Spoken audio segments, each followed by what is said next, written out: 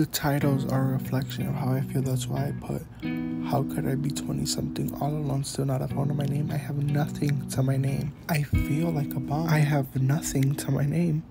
I value materialistic items so much, and I hate myself for doing that. But it's like in the song says.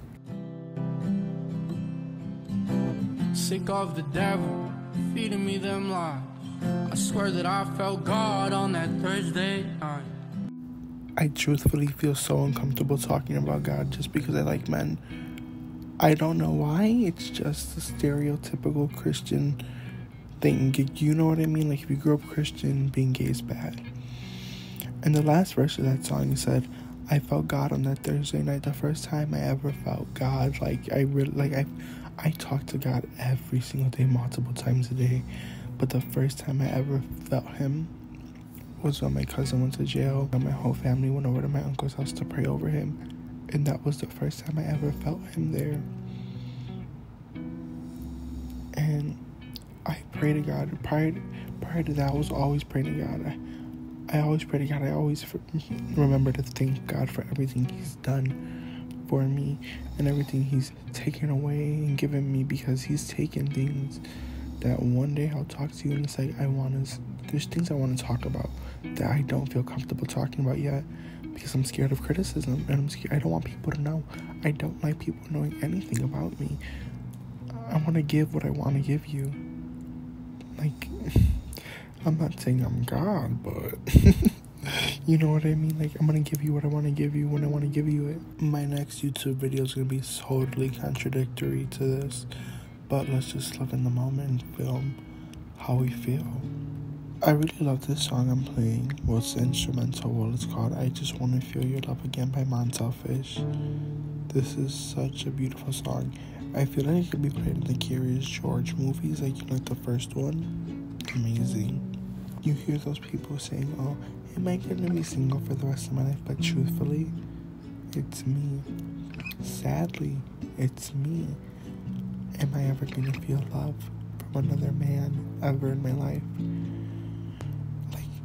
I mean love. Like I'm not gonna ma- I'm not gonna fuck with no nigga who's a slut. I'm not gonna fuck with no nigga who's a whore. I mean love. I wanna get married like the Curry Steph and Ayesha. Like I wanna get married and live in the middle of nowhere and run my business. But personally, I just want to live in the middle of nowhere and run my business. Then that could come along marriage. But I don't know if it's meant for me. What if what I want is not what God wants? What if He has me being a whore? Pray to God it's not that. This video is just meant to be listened to in the background when you're in the middle of the night doing nothing and just want to listen to something. Don't watch it, just listen. I really don't feel like a normal person sometimes. Like, I don't do things 20 year olds do, people my age do. I occasionally I like to go out and have fun and drink, but that doesn't satisfy me. I don't need that. I would like to go out without drinking. I don't have to drink to go out to have fun. I just need to be around good company. I don't. I want to be have fun alone. I want to go out alone. I want to travel the world alone, and I can't do that. I just need to blow up first. Please help me with that. I just want to be alone and build a community of people that care for me and I care for too. This is a 50 50 split, baby. You blow me up, I blow you up, you know? I just really, I don't know if it's gonna fix all my problems. If, let's say, I get famous, what is that gonna do? It could fix a lot of problems, but it could bring a shit ton more. Am I ready for it? Probably not. I'm gonna say I'm ready for it, but I know God will bring it out at the time He wants it to come. Everything. He'll give me everything I want. No, not everything I want, everything I need. He knows the things I need right now, and it's not a Chanel bag. Dear God, I pray to God when I get money, do not go buy a Chanel bag first, because we might have to pay that. I'm joking. I'm joking. I'm only gonna buy that when I feel like I need it. Like, I, I will only buy a Chanel bag when I deserve it. And I need to get this out of my mind. I talk to myself all the time at night, thinking, oh, if I buy these shoes, it'll make me feel better. If I buy this bag, if I buy a Chanel bag, it's gonna change my whole world. No, it's not. Materialistic items will not change your life, JC. Why do you keep thinking this way? I don't know why. I saw this TikTok the other day saying how we're always like, oh, we want men to us this, us that. We're modern day prostitutes. Like, that's your modern day prostitutes. Like, I'm gonna be like, oh, I'm gonna make this nigga buy me this. I'm not saying I am that because I do not do anything. I do. I've not even kissed a man. I will not touch a man.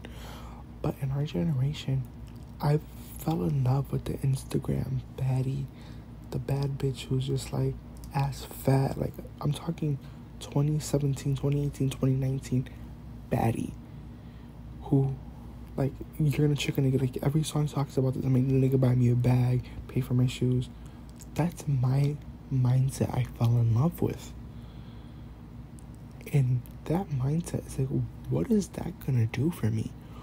What is a $2,200 pair of Givenchy shark boots gonna do for me? What is my Chanel XXL that cost $8,000 gonna do for me? That I could get for 2000 and still have no fucking car. What is that gonna do for me? The only way I would buy Chanel XXL if I got it for a good deal and I'm Affirm paying it. But what is that gonna do for me? I need a car. I need a home. I want a new place to live. I want my own car. I want to go state to state and thrift and bring you along and blow the fuck up and not go crazy. I always think to myself, if I blew up when I was younger, I would have blew it on bags for sure, shoes, yes. But would I have been a DRUG addict? Like, I don't think so. But in my head, in the last couple of weeks, I've been getting realizations of me doing COC cocaine. Like, I don't know why. If I was younger, like, I would have been like a fucking junkie, but like, I don't think I would, but I don't know. I don't know, I just need to talk. The next video is gonna be me showing you things I bought for a good deal and showing you how to shop, which kinda contradicts this video, but sorry. No, I'm not sorry. For the next video, if you have a problem with it, that's what my whole channel is just me shopping. Specifically buying things I can't afford because I can never afford anything I buy.